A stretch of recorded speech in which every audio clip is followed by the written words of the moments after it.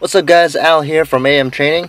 Today I'm going to show you a video of my squat progress and my bench progress. I'm going to go ahead and do the squat of 415 here and it felt good. It felt it felt okay. Um, uh, the only thing I had a problem with was hitting was hitting depth. I felt like I didn't hit below parallel.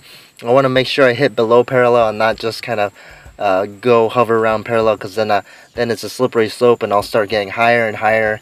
So moving on to the bench press, uh, I deadlifted before this just to try out the new narrow stance sumo that I'm going to be working on. I went up to 455. I didn't record it. It was pretty crowded in my gym. My brother, my friend, and his friend wanted to train with me that day. So I went from zero training partners up to three. And now I'm going to go ahead and unrack the bar here, benching. My brother's right behind me. He's trying to spot me.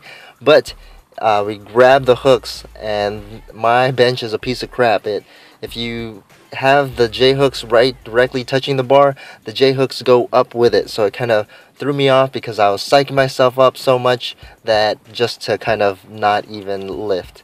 So kind of walk it off and brush it off. So when it was time to bench press the 295, when I was going for it, it felt okay, except when I had to push through.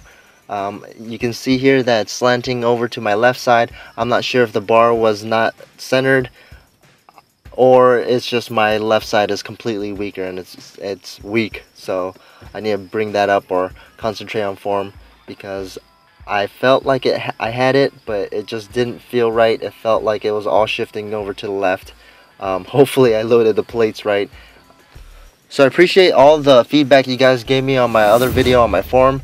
Uh, I will definitely apply those to all my training.